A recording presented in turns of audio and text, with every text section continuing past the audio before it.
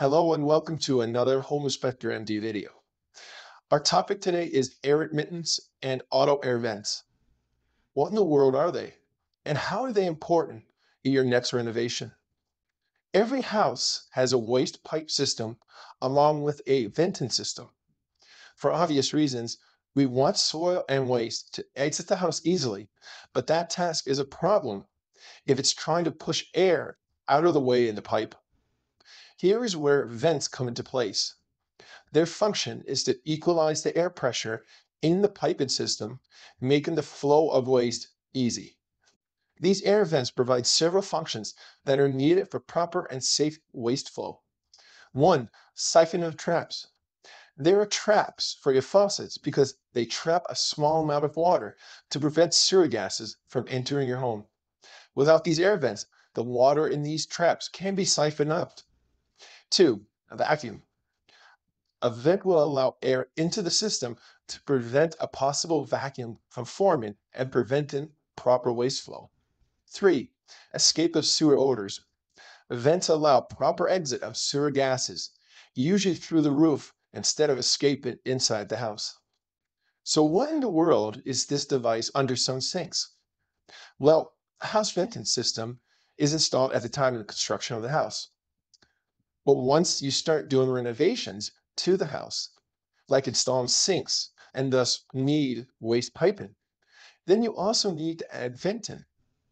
But it's also possible that adding proper venting is not practical in terms of cost.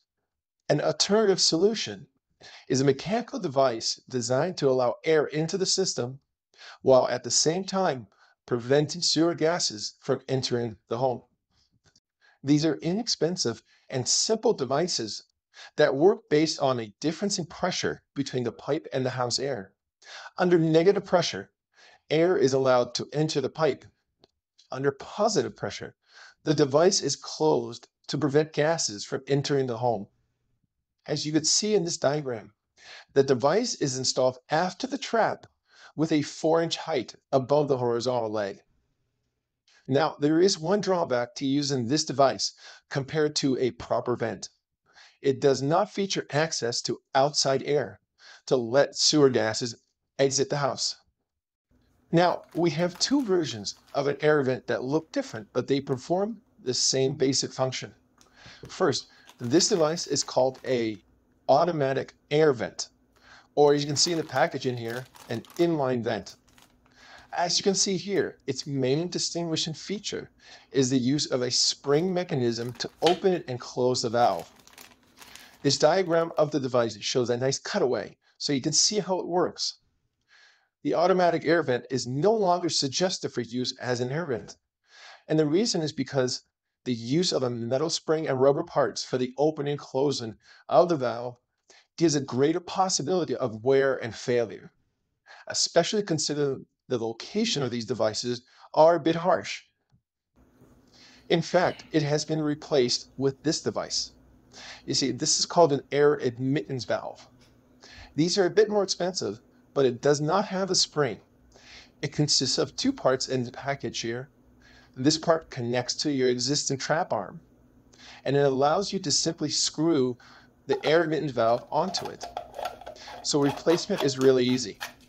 It consists of a simple sealing mechanism to open and close the valve under negative and positive pressure. Now, let's take a quick look at these diagrams and see how simple the device actually is. Again, installation is 4 inches above the trap arm, and the sealing mechanism simply rises or lowers to let air in or close. Now, there are several things that are required for proper install. For example, it must be accessible for replacement or repair, and it must have free movement of air with nothing blocking the intake vents, with at least a 2-inch clearance. According to the manufacturer, it can be used for a system that has a dishwasher, washing machine, or food disposal attached to it.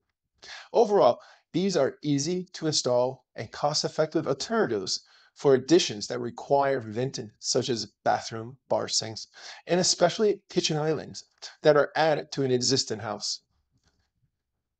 From a home inspector's point of view, we will point out the use of devices in a report in that they are allowed and work as intended, but they don't offer complete venting features.